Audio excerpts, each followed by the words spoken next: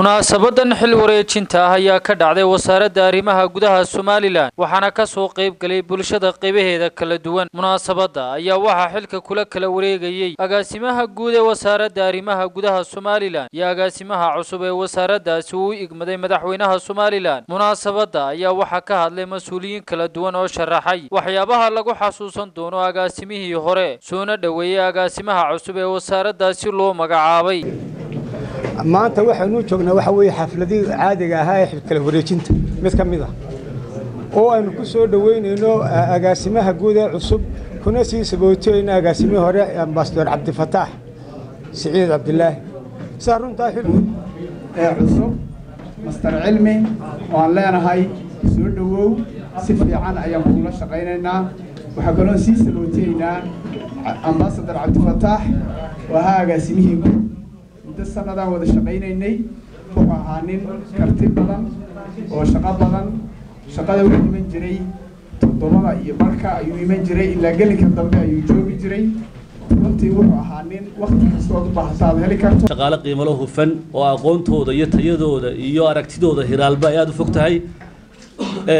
Labada wasiir ku-xigeen ee wasiiru dowlaha iyo wasiir waan soo wada shaqaynay mudane yaasiin maxamuud xiirno waa nin aada u degan oo odaya oo waaya araga oo rugcadaaya cabdifataaxna marba isna la keenay anigana layga bedelo agaasimo guud lay magacaabay oo waan isweydaaranay laakiin waa nin aan isnaqaano cilmi isna si fiican baan u garanayaa runtii marka waxaan halkan doonayo in kelmad inaan ka idhaahdo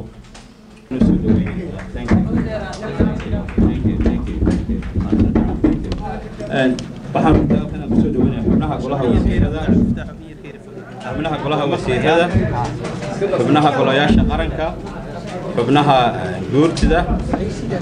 Taliyaasha ciidamada jamhuuriyadda somalilan hadday noqoto ciidamada qaranka booliiska ilaalada xeebaha dhegaysan idinka raale guddoomiyaasha gobollada iyo degmooyinka barasaabada madax dhaqameedyada hay'adaha caalamiga shaqaalaha wasaaradda dhammaan somalilan oo runtii dowr dowr shariifa ka siiyey dhallinyarada ka qaybgalka talada waddanka runtii madaxweynuhu wuxuu dabarka ka furay dhallinyarada ka qaybgalka siyaasadda ee qaranka.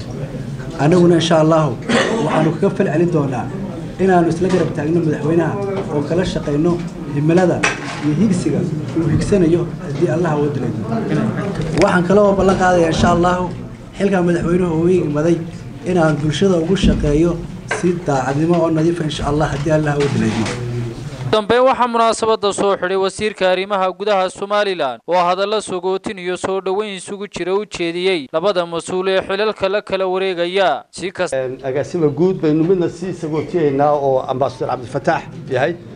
Midna aynu soo dhoweynaynaa cabdifataax inkastoo muddada aan wada shaqaynanay aad ay aada u koobnayd oo muddo yaroo imika inta aan rasmi ahaan wasaaradda hawsheeda bilaabay muddo laba bilooda ay tahay meelaha si wanaagsan baanu u wada shaqaynay.